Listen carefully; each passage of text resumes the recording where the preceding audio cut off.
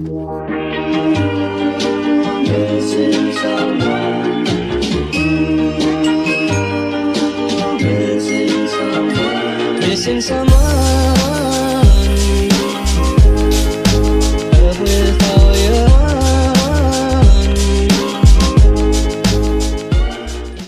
alle sammen og velkommen tilbake til min kanal. Sitter jeg på et nytt sted, gitt. Prøvde å gjøre det litt koselig. Det er ikke noe mer koselig enn det her. Jeg får det. Skal vi blotte litt? I dag så tenkte jeg å ha en liten sånn Q&A om pubertet og kvinnekropp og liksom mensen og litt sånn forskjellig, fordi denne videoen er i samarbeid med Libres. Libres. Vi alle vet hva Libres er. Så jeg vil egentlig bare med denne videoen liksom skape en sånn trygg og åpen samtale om livmor. Og altså, livmoren den er jo sykt fascinerende for det første, og sykt cred. Vi jenter bærer en livmor. Vi får menstruasjon, vi har mulighet til å bringe frem et barn. Altså, This is crazy, you guys. Det er ganske sykt hva en kvinnekropp kan gjøre, og det er det jeg liksom vil snakke om, litt åpent rundt at det skal ikke være flaut å snakke om pubertet, kropp, livmor, mens alt det her, det er noe vi alle jenter går igjennom, og derfor så er jo jeg her da, for å være en liten storesøster til å hjelpe dere. Så jeg skal egentlig bare svare på litt spørsmål fra dere, men først så kan jeg bare fortelle min historie med min livmor og litt sånn der, eh, angående liksom graviditet, menstruasjon, smerter, abort, sånne type ting. Det er en ting som jeg på en måte snakket veldig mye om, og det er abort. Om jeg for eksempel hadde ville tatt abort hvis jeg ble gravid nå, og det ville jeg per dags dato gjort. Eh, grunnen til at eh, for det første jeg er for abort så det synger, fordi det er ingen andre som skal bestemme hva du har lyst til å gjøre med din kropp og det som skjer i den, enn deg. Det er ingen andre som skal bestemme at nei, du får ikke lov, du må beholde den ungen. Du skal bringe frem det barnet. Jeg har aldri stått for noe sånt. Jeg vil, jeg vil si at det du gjør med din kropp, og det som skjer med din kropp, og hva som er inni din kropp, det bestemmer du. Det er ditt valg. Derfor så ville jeg tatt abort om jeg ble gravid nå. 100%. Jeg tror også jeg ville tatt abort om jeg var i et forhold. Uh, bare fordi at jeg er ikke i stand til å ta vare på et barn akkurat nå, og det er helt greit. Vi kan la det være innledningen her, og så skal jeg eh, vise dere, eller svare på deres spørsmål da, som dere har stilt inn, om akkurat disse tingene her. Er det vanlig å ha en bulk nederst på magen når man er 14 år? Den bulken er det veldig mange som kanskje føler seg skamfull over. Jeg har også tenkt det når jeg har vært yngre, at herregud, hva er det der? Er det fordi at jeg har lagt på meg sånne ting? Den bulken går ikke an å trene bort, fordi det er livmoren din. Det er der livmoren din ligger. Vi jenter kan ikke bli kvitt den bulken med mindre vi fjerner livmora vår, mens gutter, de kan trene den flat. Flatere enn de jenter gjør. Altså, som dere ser her, den bulken her, den er kanskje større på andre, mindre på andre, men den skal være her. For det er sånn kvinnekroppen er, så det er helt normalt jenta mi, og du må aldri føle deg på en måte, du må aldri lure på om det er unormalt eller ikke. Altså, alle kropper er fine uansett, men akkurat den bulken der, det er, det er noe alle jenter har. Når begynte du å få pupper? Nå har jo ikke jeg de største boobsa på denne planeten, men når jeg begynte å få større pupper enn det jeg hadde når jeg var yngre, altså for det første, små pupper, dritfint, jeg elsker det. Jeg kunne aldri hatt store pupper, jeg vil ikke ha store pupper. Jeg liker akkurat den størrelsen mine små tatasari. Nei, jeg synes det er dritfint. Jeg synes alle pupper er fine egentlig, men jeg personlig på meg selv synes at de puppene jeg har fått tildelt er perfekte. Men jeg begynte vel å kjenne litt sånn, ja, at den klumpen i puppen kom, og de vokste litt. Det var vel når jeg var sånn 12. Det var ikke så veldig mye da, men eh, 12 så begynte det vel kanskje å skje noe da. Når fikk du mensen? Jeg fikk mensen i 7. klasse, 6.-7. klasse rundt der. Enten slutten av 6. eller starten av 7. Jeg synes, nei, det var ikke så skummelt. Jeg synes egentlig det var litt sånn, ah, yes, nå kom tante Rød på besøk. Det var på en måte veldig deilig for min del, for da, for det første så var jeg på vei til å bli et kvinnemenneske. For det andre så var det litt stas å få mensen da. Jeg følte, når jeg var ung, så var det veldig... Når jeg var ung, herregud, jeg er 21. Når jeg var yngre, så var det veldig stas å få mensen. Det var nesten en kamp om å få mensen først. Og så er det da oppfølging til mensenspørsmål. Der har du noen tips til hvordan å håndtere mensen på skolen, eksempel i gymmen. Det jeg har gjort er alltid å ha i skapet mitt, eller hylla mi, eller ryggsekken min, så har jeg alltid et lite kit med altså tampong, bind, ny truse, sånne type ting, sånn at jeg vet at hvis det skulle skjedd, så er jeg forberedt. Så mine tips er egentlig bare å bruke, i hvert fall det jeg gjør når jeg trener og har mensen og sånt, så bruker jeg OB og ikke bind, fordi det har jeg en tendens at det, det bare, nei, ikke helt, ikke helt på trening. Men jeg er veldig glad i å bruke begge deler. Hvordan er ditt forhold til kropp og mat? Mitt forhold til kropp og mat er vel normalt, vil jeg si. Jeg har jo slitt veldig mye med dårlig selvtillit angående kropp veldig mange av årene mine. Jeg skal ikke bare si at ja, jeg har blitt flink til å elske meg selv, fordi ja, det har jeg, men det er jo ikke bare det det er snakk om. Jeg har gjort ting for å føle meg selv bedre, som for eksempel trening for meg får syken min til å bare gå opp i skyene og bli den beste den har vært på lenge, grunnet trening, og ikke nødvendigvis bare fordi jeg trener, men fordi jeg føler jeg får noe ut av treninga. Jeg blir sliten, og jeg får en sånn god følelse. Forhold til kropp har jo vært noe jeg har slitt med en del, og jeg sliter jo litt med det til tider, fordi jeg er jo veldig mange forventninger, eller jeg føler at man må ha stor rumpe, store pupper, sånne type ting. Og helt ærlig, akkurat det der med pupper har jeg gitt veldig faen i, fordi det, altså hvem bryr seg? Men også tenker jeg sånn, men hvorfor skal jeg bry meg om rumpa mi? Jeg har jo ikke den største rumpa på denne planeten heller, men det er bare sånn jeg er lagd. Jeg, gidder ikke gå og trene fire ganger i uka, ræv og bein.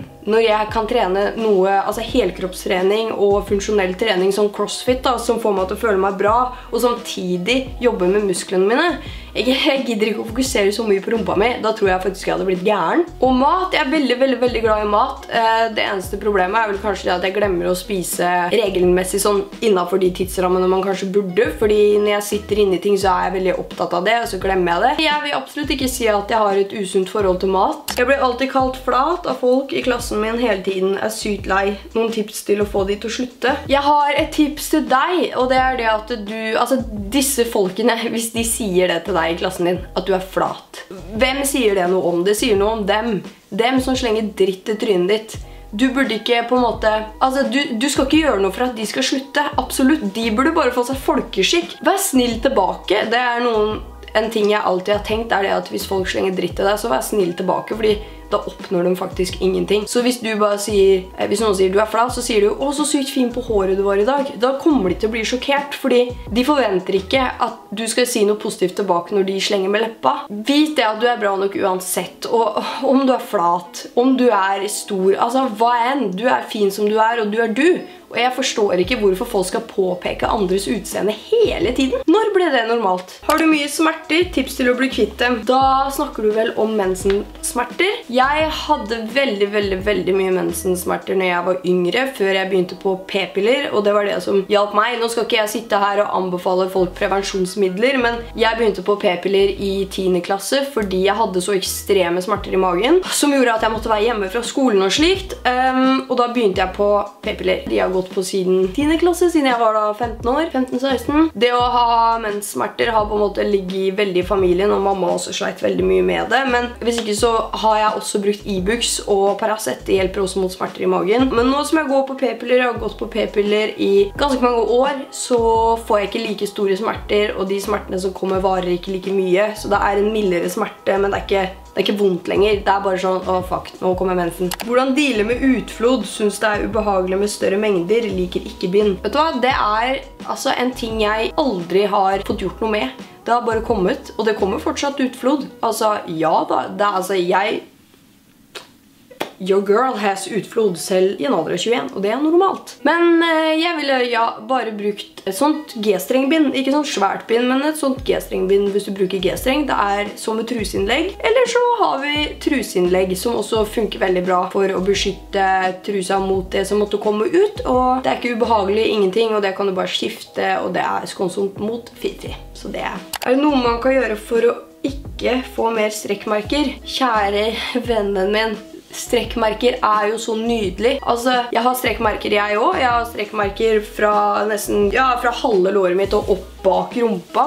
Jeg har ikke noe problem med det. Altså, jeg synes strekkmerker er fint, for hvem er det som har en plettfri kropp for null cellulitter, null strekkmerker, null arr? Altså, alle har et eller annet. Blodårer. Og jeg synes det, det siste du burde tenke på er strekkmerker, fordi ja, når man er ung så er man usikker, men altså, bare vent, altså, det er så fint. Jeg synes det er fint med sånne ting som det her. Så nei, ikke noe du skal gjøre for å få det bort. Bare embrace it, live it, own it. Og samme her er cellulitter vanlig. Føler jeg er den eneste som har det. Jeg har også cellulitter. Altså, det er så normalt. Veldig mange har cellulitter på lår og rumpe, og selv Kim Kardashian har cellulitter, og Kylie Jenner. Altså, så å si de fleste har cellulitter, så det burde du ikke være redd for. Altså, som sagt, embrace it. Det er, en kropp. Tenk hvor mye den kroppen drar deg gjennom hver eneste dag. Tenk det livet kroppen din drar deg gjennom. Du må jo ha noen merker. Og det er, sånn det er. Du kan ikke være en porselensdokke eller en Barbie. Hva har vært dine komplekser vedrørende kropp? Mine komplekser av kroppen min det har faktisk vært en del, og det er ikke sånn at jeg vil sitte her nå og på en måte, for jeg vet hvor lett det er, at på en måte dere kan se på meg, og så ser dere på dere selv, og så tenker dere, å, men hun har det, hva burde jeg tenke da? Fordi det er sånn det er, når jeg også har hørt på folk som har vært slanke, fine, perfekte i mine øyne, og jeg har hørt hva de, synes, hva de ikke liker ved seg selv, så sitter jeg der bare sånn, åja, hva burde jeg gjøre da? Så først og fremst, ikke tenk det, fordi uansett hvor på en måte fin du kan synes en annen person er, og uansett hvor fin den er på ekte, så kan den personen ha ting ved seg selv den ikke er fornøyd med. Og det betyr ikke det at det er noe feil med den. Absolutt ikke. Det er ikke noe feil med den. Men det det har vært, det har vært eh, hoftene mine bakfra, for at jeg føler jeg har hatt litt store hofter. På en måte ikke. Jeg har ikke hofter, så veldig store hofter. Men bakfra så har jeg følt at eh, på en måte ribbeinet og hofta har laget en valk av huden. Det er ikke en valk, det er en hudbrett, faktisk. Det er ikke noe. Og det har jeg blitt mye mer selvsikker på i de siste åra, men det har alltid vært et stort kompleks. Rumpa mi også har vært et stort kompleks. Og at jeg har litt brei skuldre, det driter jeg i nå, men det er sånne her ting man ikke skal bry seg om. Jeg føler meg bra i egen kropp. Og det er jo det som teller. Om du liker din egen kropp, og du føler deg bra i din kropp. Er det vanlig å ha hår på tissen, men ikke mensen? Ja, 100%. Jeg fikk hår på tissen før jeg fikk mensen, og det er helt normalt. Andre kan få mensen før de får hår på tissen. Det er helt normalt, uansett hva det har med mensen og hår og utflod og alt. Det er helt normalt. Er det normalt at puppene er veldig harde når de begynner å vokse? Det er veldig normalt. Eh, det blir på en måte sånn hard klump på puppen altså bak nipperen eller rundt der. Det husker jeg i hvert fall. Er det normalt at puppene er forskjellige? Jeg vet hva, det er helt normalt. Jeg har en pupp som er større enn andre. Jeg tror puppen på hjertesida er større enn den vanlige puppen. Mange av venninnene mine har liksom en pupp her og en pupp der. Andre har liksom Sånn, sånn, sånn, sånn. Det er helt normalt. Og det er det som er så flott. At puppene ikke er like. Eller at ting ikke er likt. Altså, hvor flott er ikke det? Det er egentlig de spørsmålene jeg har lyst til å svare på, men jeg har bare lyst til å snakke litt om på en måte min historie med livmor. Det er kanskje ikke alle som vet hva de skal spørre om, og da kan jeg på en måte svare litt på det. Så det her er min historie og hva jeg føler. Vi kan ta opp at seksualitet Jeg anser jo meg selv som heterofil, eh, grunnet av at jeg har aldri fått følelser for et annet kjønn enn det motsatte. Jeg har alltid vært veldig åpen til på en måte, altså hadde jeg det er ikke sånn at jeg ikke ville vært bifil eller lesbisk, men jeg har ikke følt noe attraksjon mot det motsatt. Nei, mot et annet kjønn, bortsett fra det motsatte da. Og jeg skulle egentlig kanskje ønske litt at jeg var bifil, altså at det føles så sykt kult å på en måte like begge kjønn og bare utforske litt mer, men jeg føler at det, bare låser seg. Hvis jeg skal tenke på det, så blir jeg sånn, nei, det er ikke meg. Og en annen ting veldig mange på en måte lurer på når de er unge, er hormoner og sånt, og at når du begynner å komme i puberteten, så får du hormonsvinger. Eh, jeg personlig har vel hatt ganske mye av det opp igjennom. Jeg hadde kan vi spørre om mamma og pappa om. De har vel uh, hatt lyst til å kaste meg ut, tenker jeg. Jeg har hatt veldig mye hormoner. Eh, veldig mye sur, veldig mye glad. Altså av og på sånn glad, sur, lei seg. Uh, ikke sant? Men det har stabilisert seg mye mer nå som jeg har blitt eldre. Men altså, det er en del av det å være ung og vokse opp. Du har en del hormoner som krangler med hverandre, og enten så er du sur eller lei deg, eller følsom eller trist, eller hva enn det måtte være. Det er, det er helt normalt. Det er også veldig mange som kanskje er redd for å bli gravide når man begynner å ha sex og samleie, og det med abort som jeg snakket litt om i stad. Og jeg personlig er ikke redd for å bli gravid, fordi jeg har, altså jeg har jo ikke lyst til å bli gravid, men jeg går jo på prevensjon p-piller som, beskytter meg mot graviditet. Jeg har aldri vært redd for det, jeg har aldri vært i nærheten av det. Jeg har jo på en måte kjenner folk som har tatt abort, og jeg har ikke lyst til å, på en måte være en del av den gjengen der, fordi at det må jo være så følsomt. Jeg har jo hørt at flere angrer på det flere år etterpå, fordi, ikke nødvendigvis fordi de ikke tok det rette valget, for det gjorde de, men fordi at de bare har følt at et eller annet har vært tomt, og det er et eller annet som har gjort vondt i så mange år. Jeg hadde tatt abort, eh, så måtte jeg bare ta konsekvensen av de følelsene jeg får etterpå, eller konsekvenser. Altså egentlig, det er jo ikke konsekvenser, for det er, du bestemmer selv. Men jeg har veldig lyst til å ha barn når jeg blir eldre. Jeg er ikke egentlig så veldig glad i barn nå, fordi at eh, yngre barn, jeg føler ikke jeg er flink til å snakke med dem, eller liksom kommunisere med de. Jeg har slitet så sykt med fettere og sånt opp igjennom, og, og kusiner, og liksom få kontakt med de, og liksom, jeg, jeg synes det er vanskelig, jeg blir klein, jeg vet ikke hva jeg skulle bli klein for, det er et barn, men allikevel. Jeg, er som, og det betyr vel at jeg langt ifra har klart å få barn. Jeg har veldig lyst til å få barn i sånn alder av 30 eller noe, men akkurat nå, absolutt ikke. Jeg tror det bare egentlig ville ødelagt livet mitt sånn som det er nå i dag. Akkurat det her med livmor og kvinnelig, altså det er jo så mange jenter som også ikke har livmor, fordi de har blitt født i feil kropp, for eksempel. Jeg vil si at det er jo på en måte en livmor gjør jo, eller for meg da, så får jo livmoren min til å føle meg mer kvinnelig på grunn av at jeg kan få barn og ha menstruasjon. Eh, Men, jeg vil ikke se på andre kvinner som, har, som er transseksuelle da, som noe mindre kvinne enn meg. Bare fordi at vi lever i det samfunnet vi lever i, og jeg synes det er så viktig å være seg selv. Og det er så viktig å bare høre på seg selv og være den man er. Det at hvis du er transseksuell og er jente og ikke har livmor, har vel ingenting å si. Du er fortsatt like kvinne som meg. Det eneste forskjellen er det at jeg har en livmor, og det har ikke du. Jeg har tro på at altså, uansett hva som skjer videre fram i tid, og om man kan få en livmor, eller uh, hva enn som kan skje, så har jeg så troa på det samfunnet her, at det er mer åpent og på en måte inkluderende for alle, og det er det jeg synes er så vakkert. Og den siste tingen jeg vil snakke om, er hvordan jeg føler meg når jeg har mensen. Og jeg, altså opp gjennom åra nå, så har på en måte mensen blitt mer og mer enn bare sånn ting som er der når jeg får det. Fordi jeg kan jo bestemme litt selv når jeg skal ha mensen, på grunn av at jeg går på p-piller. Følelsene mine med mensen, i hvert fall opp igjennom, har vært sånn at noen ganger så kanskje jeg har vært sur, andre dager har jeg hatt lyst på en spesifikk ting. Jeg har liksom hatt cravings. I det er en mus her.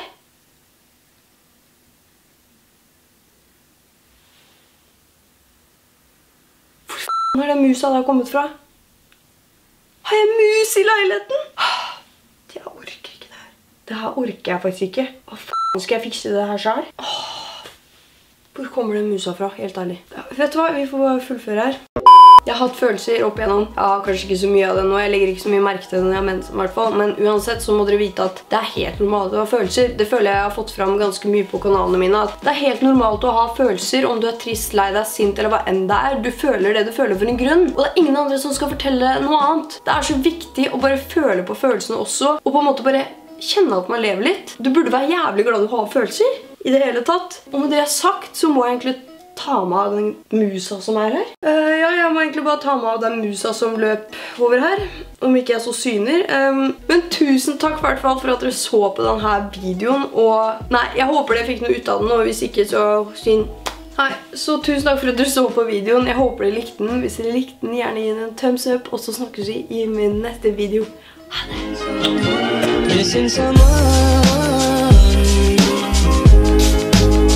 det!